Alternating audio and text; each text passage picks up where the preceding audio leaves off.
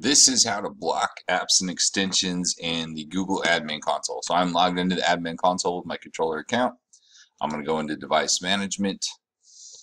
I'm going to click on Chrome Management over here on the left. When this screen loads, I'm going to go into User Settings.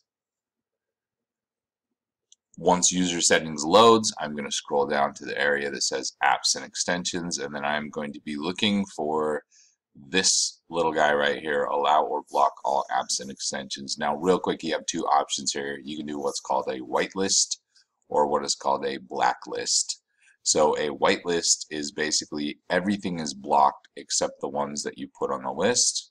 And then a blacklist is exactly the opposite. Everything is allowed except the ones that you put on a list. Now this um, school has it set on allow all apps and extensions except the ones I block. So that would effectively be a blacklist. And I'm going to leave that like that because I don't want to mess with their settings. But then what that allows me to do is to go to here, allowed apps and allow apps and extensions and click on manage and then I will get this list. So the ones that are already being blocked are here on the right. As you can see, there are a whole lot of Nicolas Cage apps and extensions um, that replace every picture on the internet with a picture of Nicolas Cage, which is kind of creepy.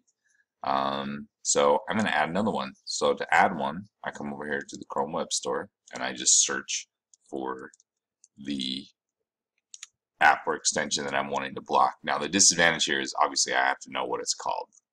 Um, so if you don't, this probably isn't going to work for you. But let's, I don't have Cageify on here. So I'm going to add this one. So I click add, pops it over to my block list, and then I click save. And then at the bottom of my admin console, I click save again.